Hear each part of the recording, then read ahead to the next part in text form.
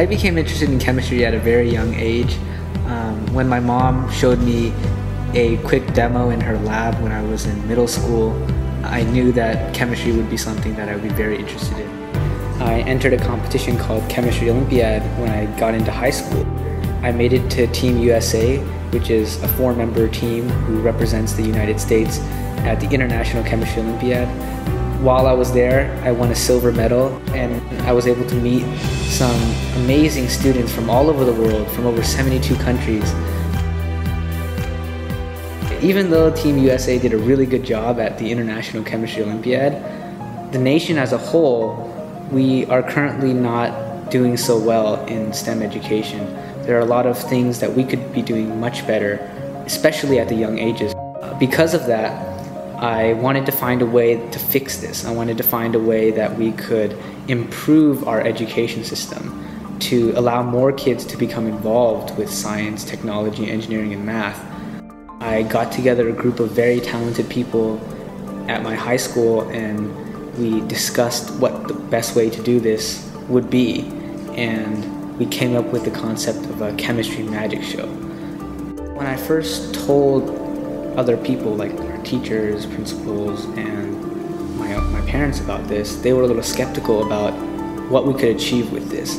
They were a little bit worried that we were setting our goals too high, that some of the things we were doing really were just too hard to accomplish. But when we started contacting schools, we saw that these principals, these students at and these schools, they really needed a service like what we provide. They wanted something that their kids could go to to become inspired by science.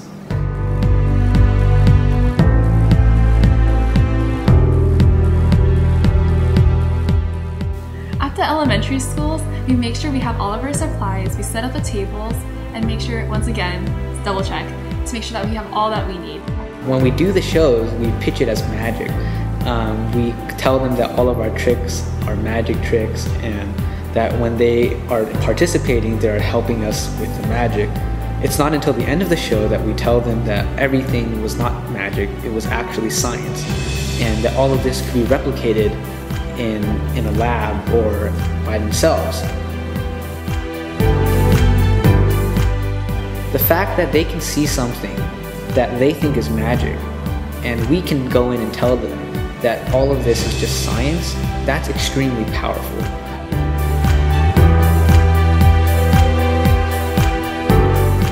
Our magic shows are a set of really fun demonstrations for the kids. Um, they consist of experiments like blowing up hydrogen balloons to doing an American flag demonstration where indicators change colors from red, white, and blue.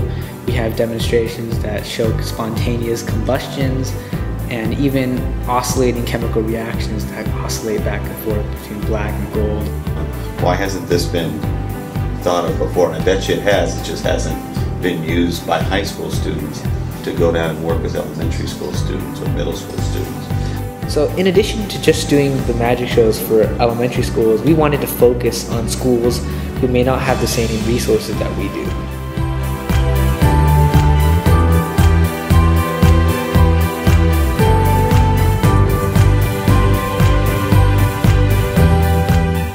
This is a 100% free lunch school area. So 100% of the students are under the poverty line. And this is a low performing school where every year we're moving up. Science and math is one of the things that's lacking in the United States, as you know. And one of the big things that you're doing is um, inspiring little ones mm -hmm. to become scientists in the future.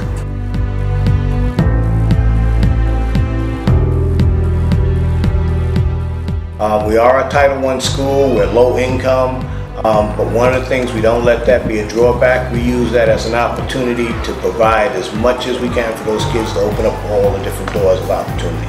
I think the kids loved it. I know the kids loved it. I got to watch all the assemblies and the kids were more excited than I've seen them in a long time. And just seeing the interest in their face and their excitement and to be honest, when, when questions were being you know, asked, so many hands went up which told me, okay, our kids are involved. this is something they want. This is something different for them. With the experiments that you did, it had the kids engaged. It had them wanting more. You know, they said, wow, I saw what that did. What are they going to do next? Uh, for all I know, we may have the next Einstein sitting in one of, one of these 1,100 kids. Maybe our next Einstein out there. Not only did the kids love our show, the teachers and administrators, they thought what we were doing was just amazing. It really does uh, make it fun and exciting to see so a lot of the, the chemical reactions and, and tying that into science and viewing science as something that's fun. Thought it was fantastic. It really brought to life science for our students. They're just starting to learn about chemistry. They can make the connection that science can be magical.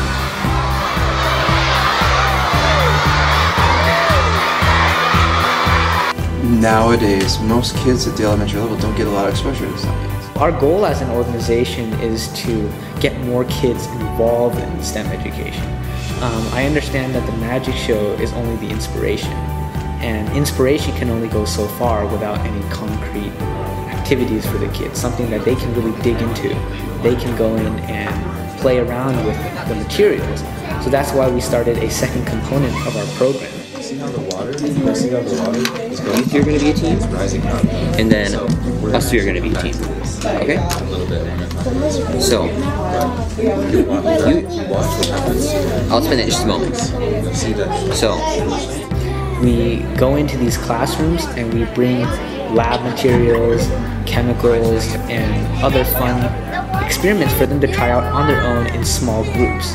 This way, they can experience what they saw in the magic show in a more intimate, in a more tight setting. Um, and this is where we can get the most impact. The magic shows are a great service, but these hands-on activities where they can create their own experiments and test out their own passion for science, that's where we can make the biggest difference.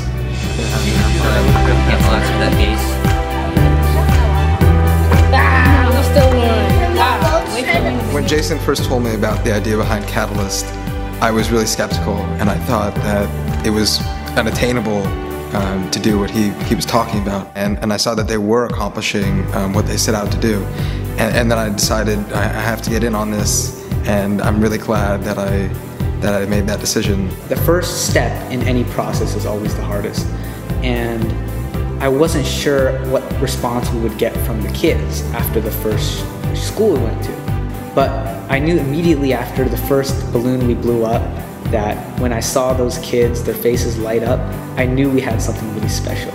I knew we could do something that could really benefit these kids. Um, and after that first show, I knew that we could reach so many kids, we could make such a big difference in these kids' lives. Any type of exposure, especially coming from students like yourself, it's a great opportunity for them to see that um, there's hope in this world. At the end of every show, we always ask the students, How many of you guys want to be scientists now? Yeah? Oh, that's a great